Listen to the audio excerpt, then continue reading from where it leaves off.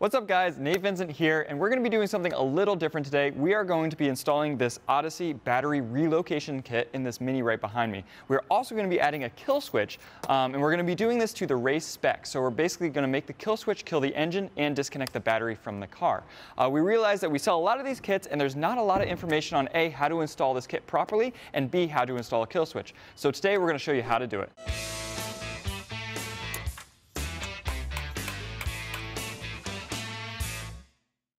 All right, so before we hop in, let's talk a little about the products in front of me. So first thing we're gonna talk about is the battery. So we have this Odyssey battery here. It is relatively compact, it's relatively light. It is an AGM battery, which means absorbed glass mat. So one of the benefits of an AGM battery is they're really vibration resistant, they're relatively compact, they're relatively light. And if you're putting this inside the cabin of the car, that means the trunk included if there's a pass-through into the trunk. This does not need to be enclosed in a box. Whereas if you're putting a lead acid battery in the same position, it needs to be enclosed in a battery box. Uh, the next thing we're going to talk about is this kit here. So this is the mounting kit. Uh, this is the top part, this is the sides, um, this is the base for that kit. There is no way that you could fabricate a kit as nice as this for the amount of money this costs. This will save you so much time it's a really trick piece of equipment and it makes the install so much easier. So this is the basic Sparco kill switch. We're going to be wiring it in this car to basically be a race car kill switch which is going to kill the engine when you turn it off. This is in case of emergencies, a crash, something of that. The other thing you can use is this is a battery kill switch if you're storing your car for a long time. So this will allow you to turn your battery off to make sure your battery doesn't drain. Extremely helpful in, in older cars, cars that sit for a long period of time to keep your battery healthy. The other thing you can use this for is a theft deterrent device. So if you're parking your car in a place where you're worried about theft, you can honestly pop this out, take this piece with you, and no one's going to be able to start the car because it's not going to have battery power. No matter what you're using it for, it's a pretty awesome piece of equipment, and I highly suggest installing it in your car. So now that we understand what we have in front of us, there's going to be some extra equipment we're going to use. Uh, so we have some generic stuff as far as rivets, uh, cable ties. We're going to use lots of zip ties, um, some battery cable. We'll talk about those things, but those are items that are going to be generic and you're going to pick up at a hardware store or an electronics supply store, something of that nature to do this job. So we're installing this on this 2010 Mini behind me that is being turned into a race car actively as we speak. Now this install won't be exactly the same on every car, but we're going to go over the basic fundamentals of the install and make sure you can do it right in your car. The first thing you want to consider when relocating your battery is where you're actually going to locate that battery. So this may differ if it's a race car versus a show car. Uh, oftentimes in show cars we're just trying to move the battery out of the engine bay to make it look clean and really nice. Um, on a race car we're more considering the weight of where the battery is going to go and trying to corner balance the car and make it go as fast as around track as possible.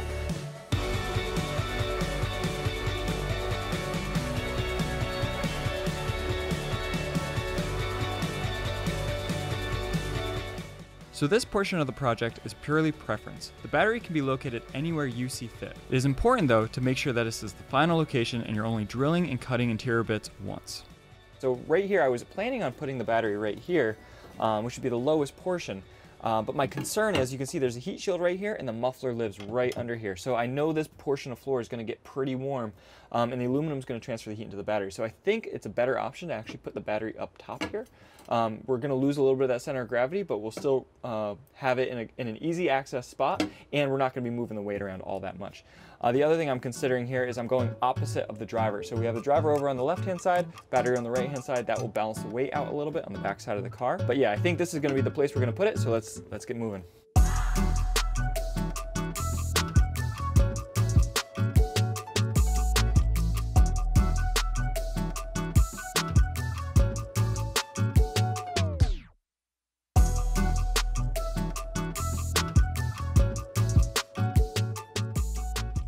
So you may have to move some stuff around, possibly cut some things out like we did here. Um, on a show car, you're probably gonna cut some carpet or at least slot it to get the cables in. Um, and the last thing you really wanna make sure is before you do any drilling or cutting, anything like that, that you've tested everything and make sure that the kit fits in there. So right now, we're test fitting the battery. Make sure we have good clearance all the way around. The top will go across there. We have our positive cable, we'll have our ground right here. We're good to go. So we're gonna start drilling these holes out and mounting this base plate to the ground. It is best when drilling your car to use a simple punch to start any of the holes. This will keep the drill from dancing around and ruining the paint. After the holes are drilled, use the hardware in the kit to bolt down the bracket. Remember, it is important to measure twice and drill once. All right, so one of the beautiful things about this kit from Odyssey is it includes these little guys right here. Uh, these guys are, make it so much easier. So you imagine if I didn't have these, I'd have to put a wrench underneath this thing every time I wanted to loosen up or adjust the battery or anything like that. What this allows me to do is slide it up from underneath and then I can just basically locks it down. It also distributes the load over the sheet metal to make sure this battery is not gonna move anywhere while the car is going around track.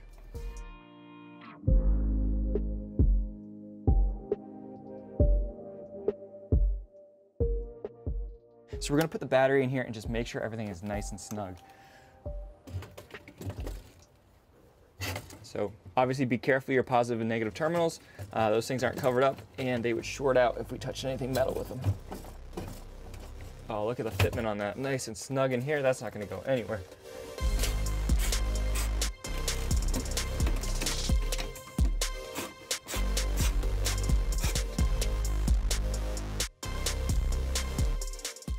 So mounting the battery was relatively easy and straightforward part of this process. But without knowing exactly where the battery is going to be mounted, it would be impossible for us to complete the rest of the project. We finished installing the rest of the hardware for one final fitment, and now we are ready to move on to the cable routing process. All right, so the next step of what we're gonna do is we're actually going to hook the ends of the cables up to our new battery cable that we're gonna run from the back of the car to the front of the car. Now, you're gonna need to determine what size battery cable you want. Um, we have a number two cable right here. Um, that is sufficient for this little car to get enough voltage and amperage from the battery in the back all the way to the front to start the car and run the engine. That said, I would use the chart here to reference how much voltage and amperage you need from your battery to get to your engine and the distance that you have to travel. The first thing we're gonna do before we start is we're gonna use the entire cable because we don't know exactly how we're gonna snake it through the car. So we'll leave this all wrapped up um, and we're going to slide the shrink wrap right down it. So you wanna get the shrink wrap pretty far away from where we're gonna be heating it up. The last thing we want is to accidentally heat up the shrink wrap and not be able to move it and have to cut it off and do it all over again. So shrink wrap's down. Uh, now I'm gonna take a razor blade and I'm just going to nip the same distance off the end. So I'm looking right about there. So we're gonna nip a teeny bit more than that. Not much, but a teeny bit, maybe a three quarters more, like that, where my thumb is. Um, and to do this, just be very careful. Just cut it with the razor blade and then spin it right around. This, this cable is really nice, it has a nice thick coating on it, so it's gonna be really safe in the car, not short out. And then we can just pop the end right off like that. All right, so now I'm just gonna kind of wind this up a little bit so it doesn't get all unruly and crazy. And now we're gonna slide the end on. So these are just normal copper ends, pretty simple stuff. Make sure all the strands get in there. Uh, twisting motion does really well. What we're going to do is we're going to heat this up and then we're going to put some solder in here to, to create the seal that we want uh, to make sure this doesn't come disconnected. Now when I do this, what I like to do is I'm going to focus the heat right in this section um, because we want the solder to be pulled through and the solder is going to go to the hottest portion. So if we focus the heat right here, it'll pull the solder in and we should be all set. Get a nice length of solder out so you don't burn your fingers while you're doing it. Um, and then what I can do also, I'm going to bend this cable up a little bit so I can actually use the, the stainless steel table here to hold it in place and I can feed the solder in uh, so I don't burn my fingers in the process. Ouch, that's hot.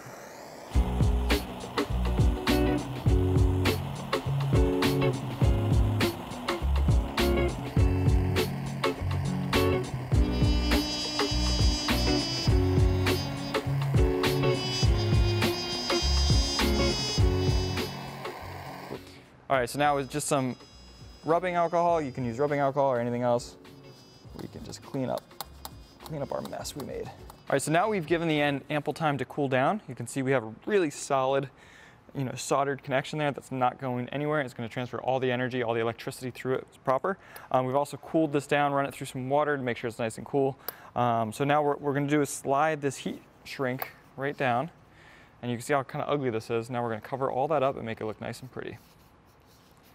So sliding the heat shrink down and over the shoulder. Really want to get right down to the end. We can always cut off a little bit with the razor blade. Um, hide, the, hide the writing on it. And now I'm going to use the torch again and just lightly heat that up and shrink that shrink wrap tubing on it.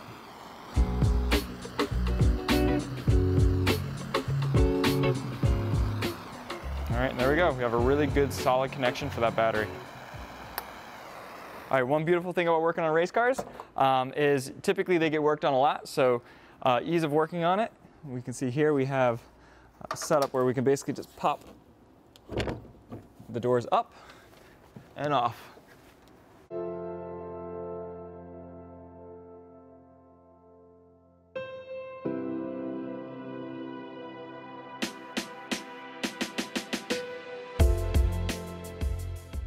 Now with the first attachment point made to the cable, now is the time to mount it to the battery and determine the routing through the car. This is a good time to think about if you have a car with an interior, you may want to pass it underneath the carpet, and if you have a car with an open interior like this, you want to make sure it's not going by any sharp edges. Also, make sure that the cable is tied down appropriately and not loose across the floor. In our case, we're running a kill switch, but if we weren't running a kill switch, this would be the time we'd run the battery cable to the original location of the battery in the front of the car. All right, so if you're working on a drift car, race car, anything with a roll bar or a roll cage, um, you wanna really make sure the cable passes on the inside of the cage, so something like this. Uh, if you have the cable passing up over the outside of the cage like that, uh, that would be considered illegal and it could possibly not pass tech inspection. So we're gonna eventually mount the kill switch right here. Uh, the reason why we're gonna mount the kill switch right here is because it's accessible from the driver, so the driver can reach forward and turn it off. If for some reason a track worker needs to turn the car off, a track worker can come and turn the car off from the window. So it kind of kills two birds with one stone. So now that I have the cable length run, what I'm gonna do is give myself just a little extra wiggle room and I'm gonna cut it right here.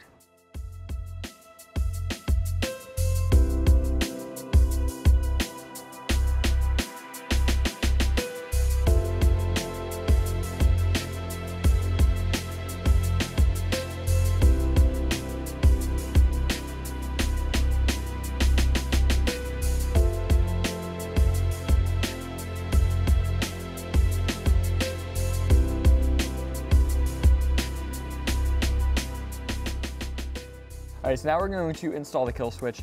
Uh, we're actually going to make a panel for this eventually, but for now we're just going to use this mount right here on the dashboard. We're going to install it and that's going to allow us to run the wires to it um, and make sure it's in position, make sure all the lengths are correct. All right, so obviously when we're, when we're installing the kill switch, you don't need to do that to relocate your battery. We're doing that because we need to be able to turn the car off with the kill switch per the rules that this car is gonna be running under. There isn't a straightforward place to mount the kill switch. Sometimes in these things, you're just gonna have to get creative on how to mount them. The only thing I would keep in mind is you wanna make sure you don't have metal too close to the post behind it because obviously those are gonna be having full uh, 12 volt electricity coming from the battery and you don't want them to ground out.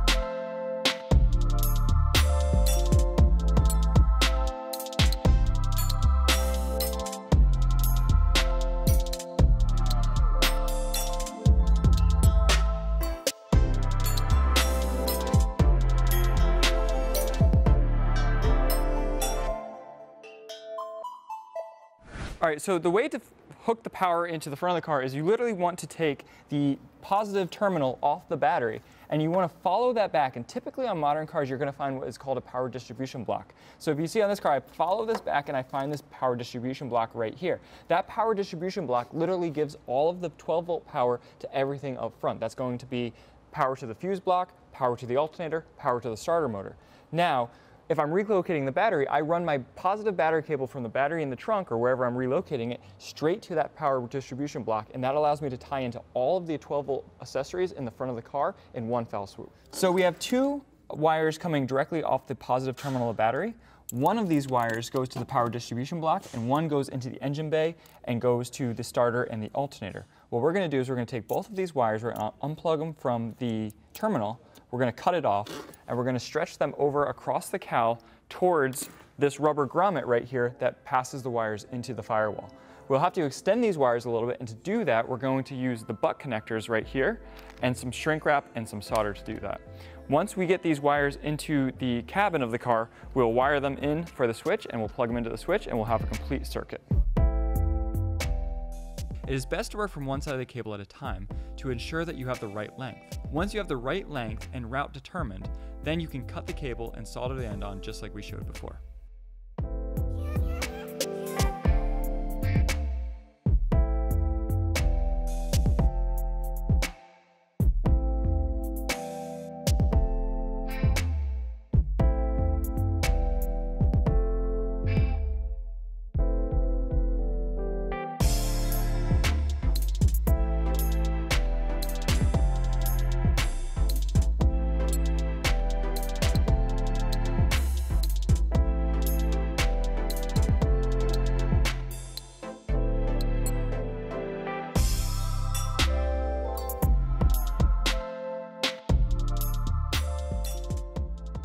Once the cables are made to length, it is time to simply attach them to the corresponding posts on the kill switch.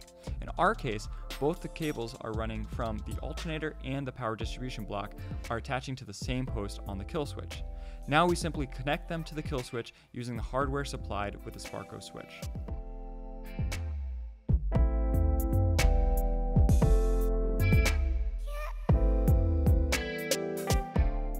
All right, so right here we have the kill switch. So as you can see, I can turn it off here. Um, I can actually remove the on off right there. That's just the, the off, this would be on. Um, but what you can see is this is isolated. So this part right here on the one terminal is going back and that's going to be the entire battery circuit behind the car.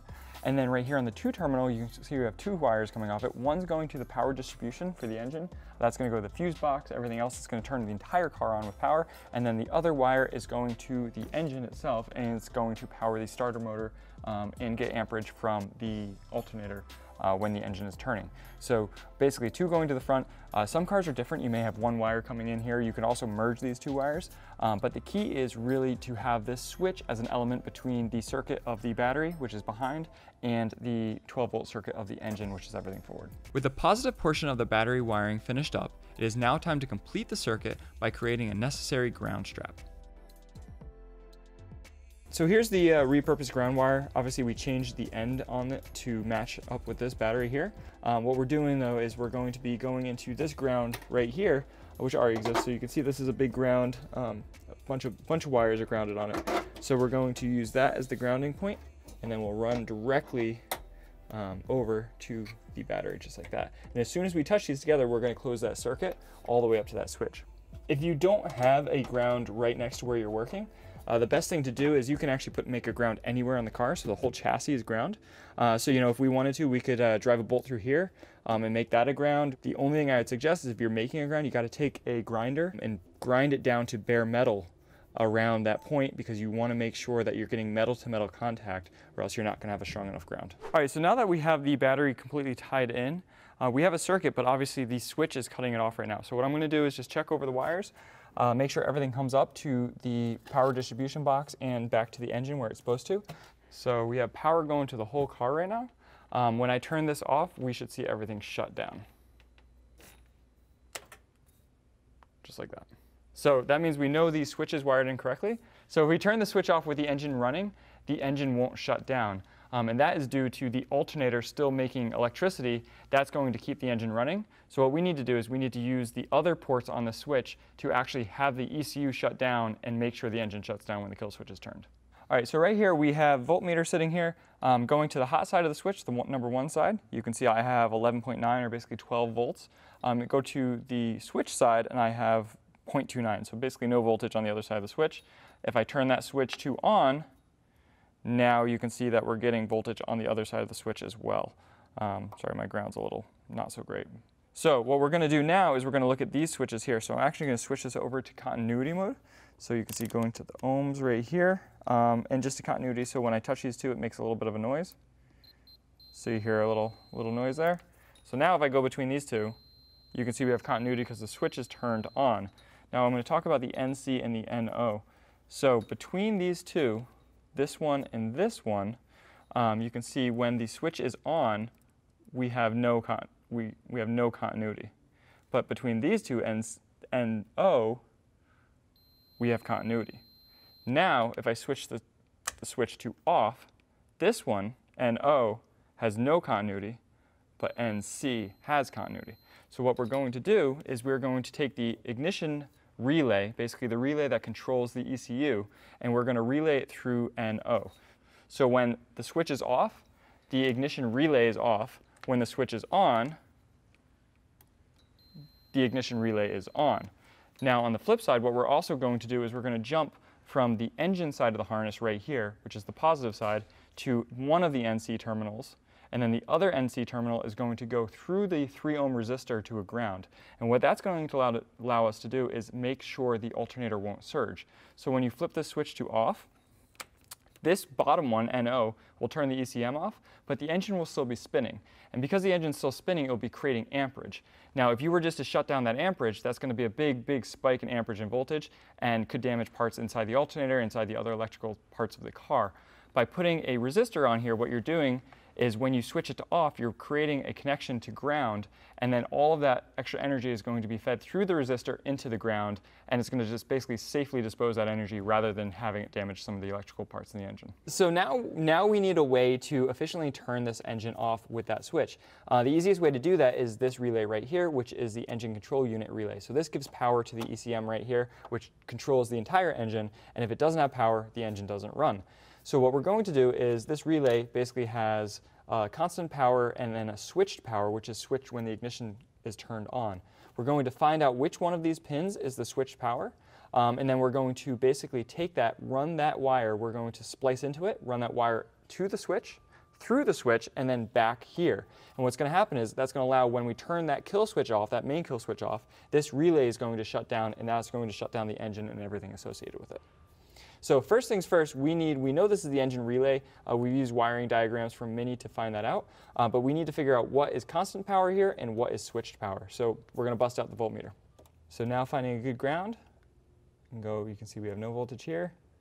We, no real voltage there. Right there, constant power, 12 volts. You can see 12 volts coming through that. Um, and then this is probably going to, oh, this is another 12, 12 volts. So we know that these two bottom ones are 12 volts. This one is showing very little. This one is showing very little or zero. I'm guessing this one, because it has a little bit of a twitch there, is probably our switched power. I think the easiest thing is probably just pull this fuse box out. see.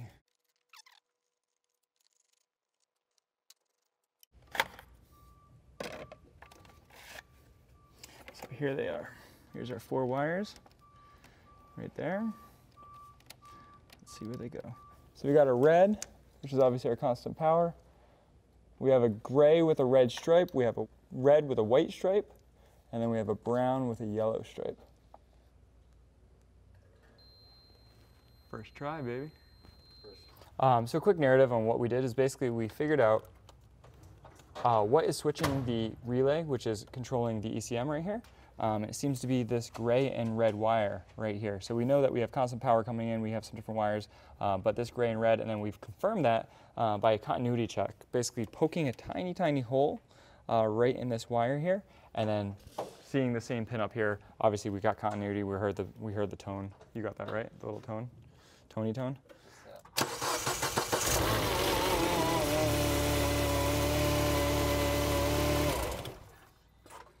There you go. Here's your kill switch. I'll just hang out with your with my sniffers every time we go on track.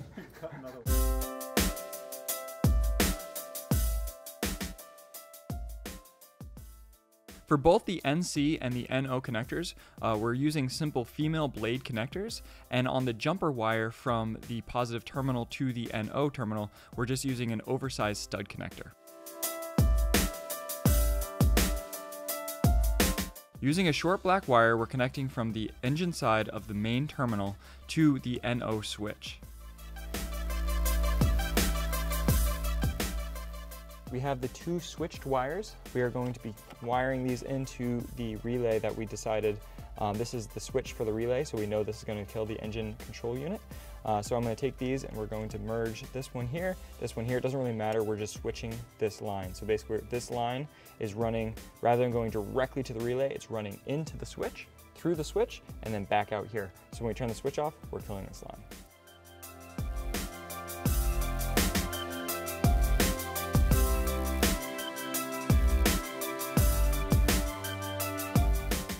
Using basic electrical connectors, we crimp the wires to connect them and then we apply heat to make sure they're sealed up properly.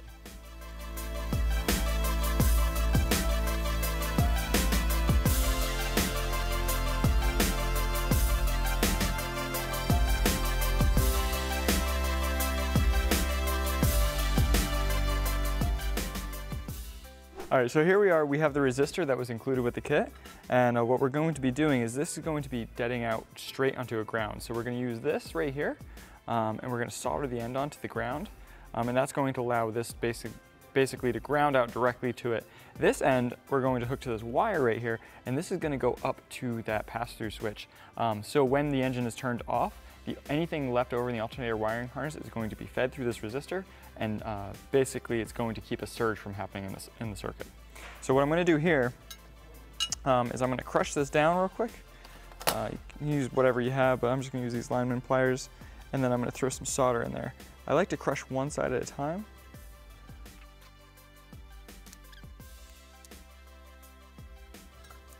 So now that we're clamped down on that, I'm going to take soldering iron and we're gonna solder this thing.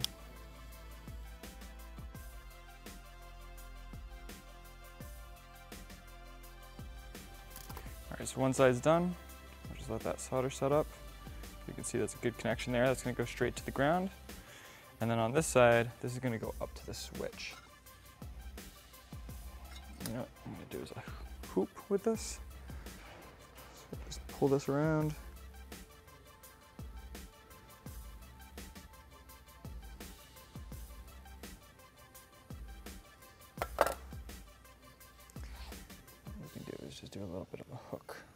Method here. Just make sure we get a good, good solid connection there. And then I have a little shrink wrap over this just to make sure it doesn't slide out.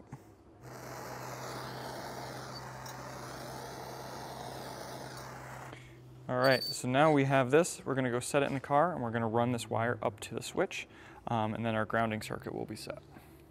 So here we have the switch and it's all wired in. I'm just gonna quickly run through the wiring just to make it so it's very, very clear and exactly what's going on. So if we look starting here, uh, terminal one, the bottom terminal here, this is getting positive voltage from the battery. So the battery is coming in here. Obviously when this switch is turned off, um, no voltage is going through this, but when the switch is turned on, it is moving voltage over to number two, and this is supplying the alternator, the starter, the computer, all of this stuff in the front of the car with power. Now, if we look at NO right here, this is turned, um, this goes in line with this switch. So when the switch is off, this is off. When the switch is on, this is on. So what that's doing is this, these two red wires coming through here are both supplying, or basically supplying power to the engine management relay. So we have a wire coming from the engine bay coming in here. Um, power that was originally power to the relay and then going back out to that relay. So when this switch is off, this circuit is broken. Now on the flip side, this NC circuit right here is the opposite. So when this switch is off, this is actually has continuity between these two sides on NC. So what we're doing here is we're actually going, we're jumping from the positive terminal um, on the engine side to one side of the NC terminals right here. You can see this jumper wire going between the two. And then this one right here is going straight down to the resistor, the 3 ohm resistor right here, which is bolted directly to a ground. So what happens when the switch is turned off, any leftover amperage that, or voltage basically that is in this circuit, um, any energy that's left in this circuit is going to be transferred through here, through this resistor and grounded out safely. All right, so here we are. We have the whole thing wired in. Um, we're gonna give it two tests. First, we're gonna start the car. Um, we're gonna let it idle and we're gonna flip the kill switch, make sure it shuts off. Um, that's just to make sure everything is functioning correctly. Then we're gonna actually do the test that they're probably gonna do in tech inspection when they, when they inspect this car, and that's hold the car about 3,000 RPM and then flip the kill switch. Um, if it's wired in improperly, at about 3,000 RPM, sometimes the alternator will have enough energy to keep the engine running. Uh, so that's the reason why they do it. So let's uh, give it a go. Here we are idling.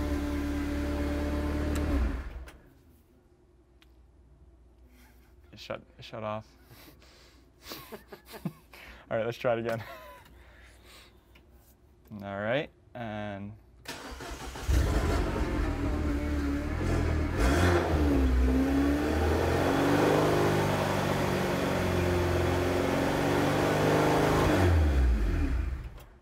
So uh, there we go, success. Uh, that is how you relocate your battery. That is how you wire an inline battery kill switch um, with all the bells and whistles, including killing the engine and putting the resistor in to take any leftover energy in the harness and do away with it properly without any surges.